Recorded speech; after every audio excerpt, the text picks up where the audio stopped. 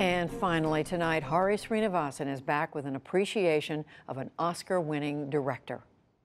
Quid pro quo. I tell you things, you tell me things. Not about this case, though. About yourself. After years of making B movies, Jonathan Demme's first major commercial success was 1991's Silence of the Lambs, and for many would remain his best known film. The dark thriller, based on a book, followed Jodie Foster as an FBI field agent on the hunt for a serial killer using the counsel of a psychopath named Hannibal Lecter, played by Anthony Hopkins. What is your worst memory of childhood? Death of my father. Tell me about it and don't lie, or I'll know. He was a town marshal, and one night he surprised two burglars coming out of the back of a drugstore. They shot him.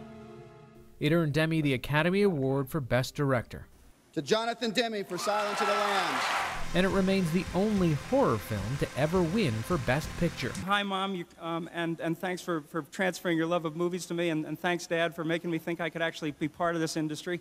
And uh, um, thank you.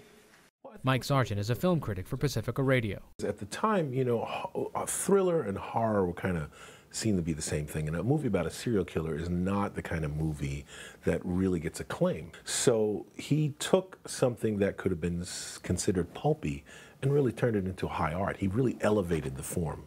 But Demme did more than crime thrillers. Over his career, he made indie films, dramas, documentaries, comedies, and concert movies too.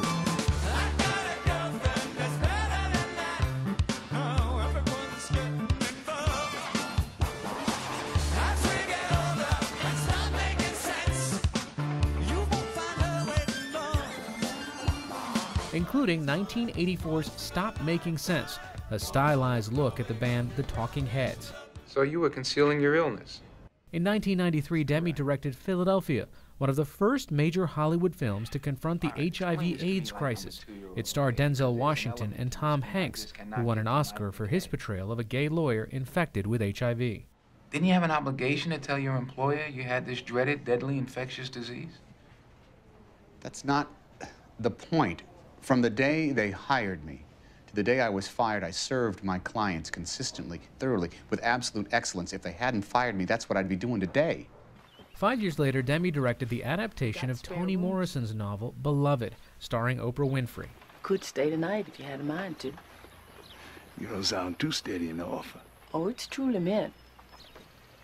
It's just I hope you'll pardon my house. My house? I like the sound of that.